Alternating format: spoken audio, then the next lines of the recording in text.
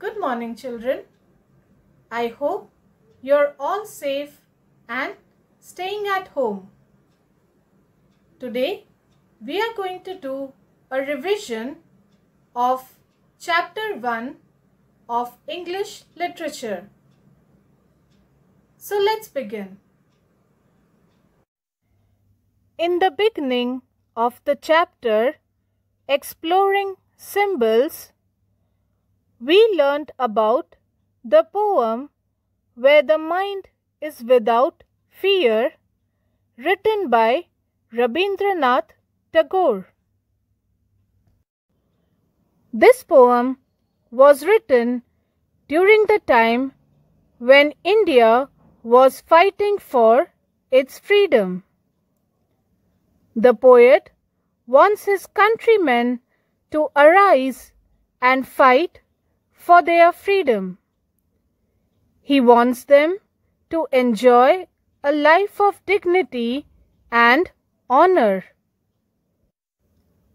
The poet requests God to give the people strength to break the bonds of enslavement and free themselves. He wants the people to think and reason and to be open minded. The people need to give up their blind faiths, superstitious beliefs, and embrace change. They should stop fighting in the name of religion and stay united. The people need to liberate themselves from fear and choose the path of progress and prosperity. Our country will become a heaven and the future will be filled with happiness. In the poem, Tagore compares reason to a stream. Here, stream is a symbol for reason. Similarly, heaven is used as a symbol for freedom. Now children, what does a symbol mean? Well, symbol is an image, object or a word that represents something else. I hope this was simple enough for you to understand. The next is the story of the fox and the rabbit. In the story, Fox and the Rabbit, the fox symbolizes arrogance because he is like a foolish person in real life. The rabbit is a symbol of a witty and an intelligent person. The rabbit is a clever animal because it senses the danger and acts quickly. The rabbit is a brave animal because it acts intelligently and avoids a dangerous situation. The hunters represent difficult situations arising and hence we need to be alert and quick to act like the rabbit. The next is the story The Emperor's Dream. In the story, The Emperor's Dream, Emperor Akbar was not pleased with the astrologers because they interpreted his dream as a symbol of loss and sorrow.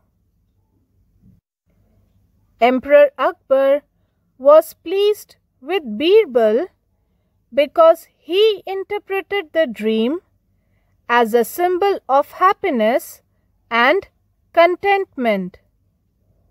From this, we come to know that interpretation of symbols and situations may differ from person to person. Some might see a huge problem, but others might see it as an opportunity. Problems can be symbolized by mountains or high walls or locked doors. The solutions to the problems can be symbolized by roads, ladders or keys. So, if a problem seems like a mountain, there will always be a road through it. If a problem seems like a high wall, there will always be ladders to climb it. If a problem seems like a locked door, there will always be a key to open it.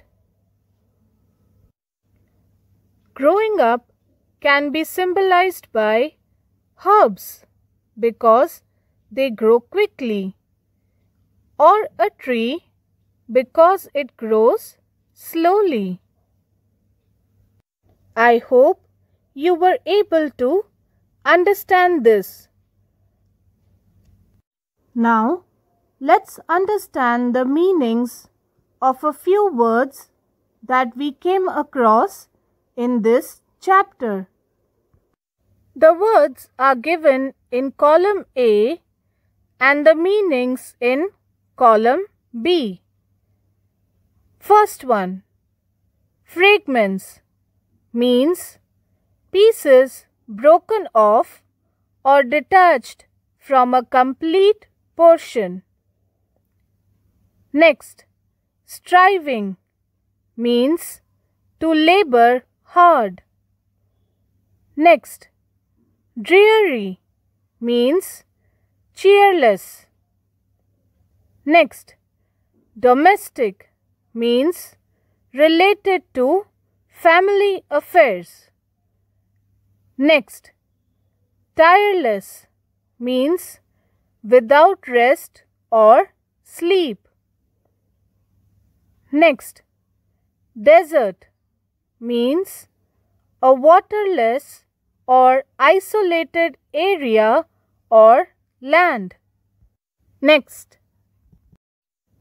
brag means boast or show off. Escape means run away. Leaped means jumped. Represent means to mean something. Interpret means clarify. Prophesied means forecast. And handsomely means generously. This concludes our lesson. I hope it was simple and interesting enough for you to understand. Children, I request all of you to read the lesson and the notes that have been provided to you. Thank you and have a great day.